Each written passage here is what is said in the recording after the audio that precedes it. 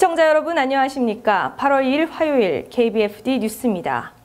하와이 한인회가 지난주 호놀룰루 시정부와의 한인회관 협약 체결식에 이어 어제 한인회관으로 사용될 전 마키키 도서관 건물키를 정식으로 인수받았습니다.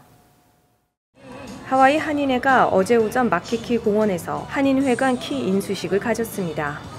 하와이 주 각계 인사들과 하와이 한인 단체장, 한인 동포 어르신들이 참석한 이날 행사에는 한국 전통 사물 놀이회와 함께 축제 분위기 속에서 진행되었습니다.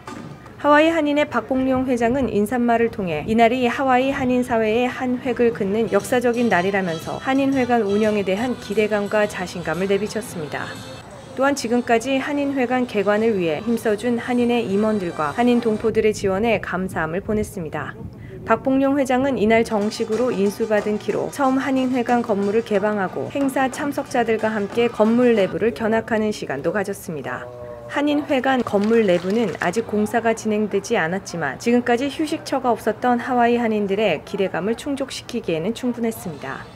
하와이 한인 이민사에 잊을 수 없는 날로 기억될 이날을 맞아 박봉룡 회장은 하와이 한인 동포들에게 다시 한번 감사함을 전하며 우리 동포들의 것인 한인회관으로 잘 가꾸고 아껴주기를 당부했습니다. 오늘은 4년 5개월 만에 이 키를 받아서 입성했습니다. 이거는 우리 동포 6만의 동포들 것입니다.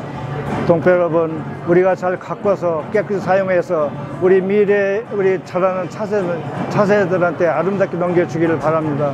우리 동포들의 미래 앞날을 위해서 이루어진 귀한 자리고 이제 우리 안식처요, 우리 휴식처요, 우리 어른들이 이제 어, 서름 받지 않고 이곳에서 마음대로 휴식하며 즐길 수 있는 곳이라고 생각합니다.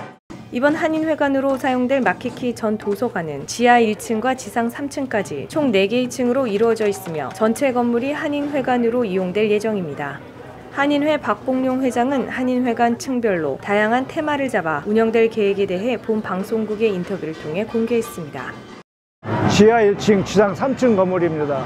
그래서 원래 우리가 퍼포즈를 낼 때 지하 1, 지하실은 지하 1층은 우리가 이민사 박물, 박물관을 만들어서 우리가 사용하기로 했고 그다음 1층은 어, 지상 1층은 우리가 우리 동포들이 사용할 수 있는 사무실 을 만들어서 우리가 편리하게 사용할 수 있게 해주고 이제 지상 3층은 우리가 이게 우리 이 동포들이 마음대로 놀 수 있는 피리언이나 우리 행사를 할 수 있는 2, 300명이 모여서 할 수 있는 장소를 엠포 시설 특별히 만들어서 우리 동포들이 공유해가고 쓸 수 있는 장소를 만들 것입니다.